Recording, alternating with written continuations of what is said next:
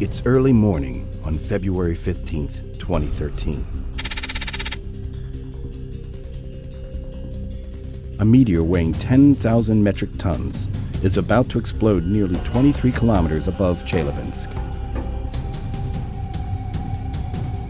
Shortly after local sunrise, a blinding sight for the stunned spectators on the ground.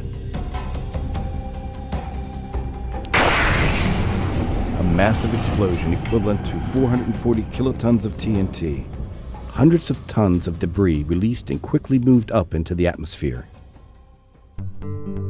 The highly sensitive OMPS instrument on board the Suomi NPP satellite made its first observation of the plume nearly three and a half hours later, an entire 1,100 kilometers east of the explosion and already at 40 kilometers altitude, well into the Earth's stratosphere.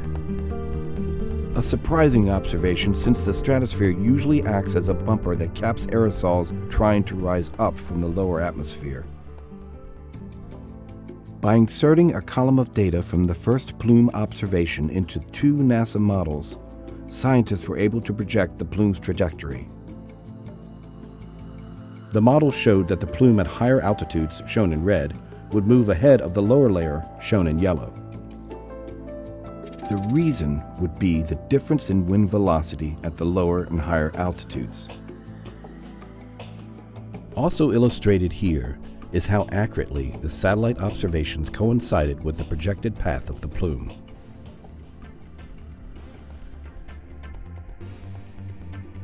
When OMPS made its second observation, back at Chelyabinsk, nearly five hours after the bolide, there was still evidence of the plume at a lower 30 kilometer altitude.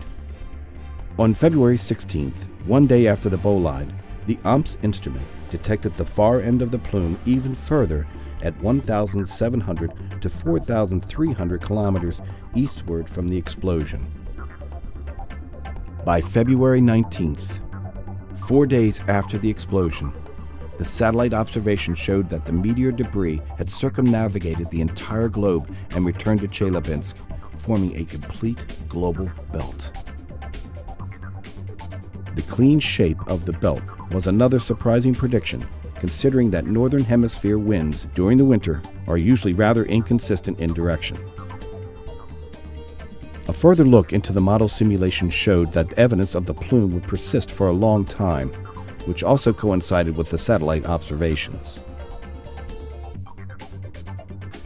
We have now seen how accurately the models were able to project the plume's trajectory.